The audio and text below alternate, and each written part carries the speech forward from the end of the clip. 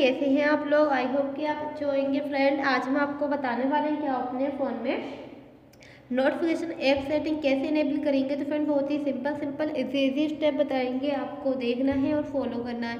Video की पूरी जानकारी लेने के लिए वीडियो लास्ट तक ज़रूर देखना है। अगर फ्रेंड आपने मेरे चैनल को सब्सक्राइब नहीं किया है तो बेल आइकन दबाइए चैनल को सब्सक्राइब कीजिए। ये फ्रेंड आपको ऑप्शन देखने में आता फ़ोन में यहाँ आपको ऑप्शन देखने में रहता है फ़ोन में सेटिंग सेटिंग को ओपन कर लेना। ओपन करने के बाद में इस प्रकार का इंटरफेस ओपन हो जाएगा।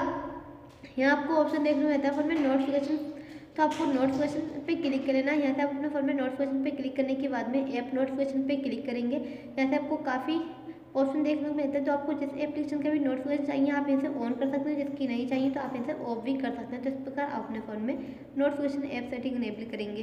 तो यहाँ से आपको सारे ऐप्स देखने को मिल जाते हैं और आपको जिसकी भी नोटिफिकेशन चाहिए तो आप इसे ऑन कर सकते हो। जिसकी नहीं चाहिए तो आप इसे ऑफ़ भी कर सकते हैं। तो इस प्रकार आप अपने फ़ोन में नोटिफिकेशन ऐप सेटिंग इनेबल करेंगे। तो आई होप अगर आपको हमारी वीडियो अच्छी लगी हो गाइस तो वीडियो को शेयर करें लाइक करें। चैनल पर नए हो तो चैनल को सब्सक्राइब करें।